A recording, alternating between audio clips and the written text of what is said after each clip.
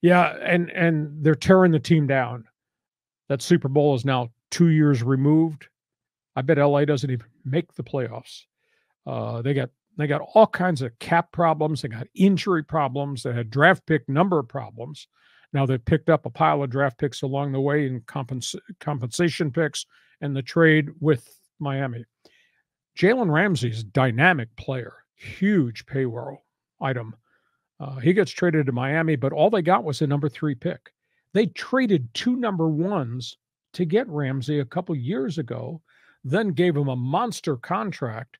And all they get back for a Pro Bowl cornerback, mouthy as he is, is a third round pick. And by the way, they take a 12 million cap hit in the process.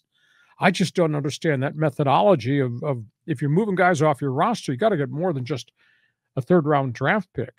And why why was there such urgency to take that offer as compared to shopping him a little bit more? Uh, it, it it's a tough blow because the Rams got rid of Ramsey. They had earlier released their leading tackler, the linebacker Bobby Wagner, who might be going back to Seattle, still in the division. I don't like that. And they just released Leonard Floyd, the pass rushing defensive end linebacker, who had 11 quarterback sacks. So they're shedding a lot of payroll, but they're shedding talent. Now, you know, does Aaron Donald, when he goes into the defensive huddle, the superstar defensive tackle, have to hand out name tags?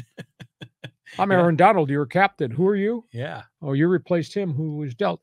I don't understand the methodology, what the Rams are doing with their player personnel decisions. Yeah, I think Matthew Stafford thought he escaped this when he left Detroit, and now he's back in the same bucket with this.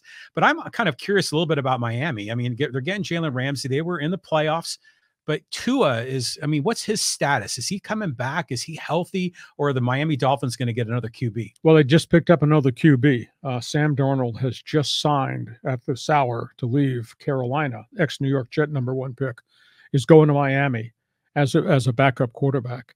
Uh, but is cleared protocol. He's obviously doing a weight strength training program uh, in this offseason. He's going to have to change the way he plays and runs just because of the fact he had multiple concussions this past year. But it seems to be green light go for him. But Miami, they just seem to be all in. I mean, they're pouring such resources into talent acquisitions and and getting Ramsey just solidifies a really good secondary that they've got. So there's no doubt that Miami is going to try to chase down Buffalo uh, in the AFC East.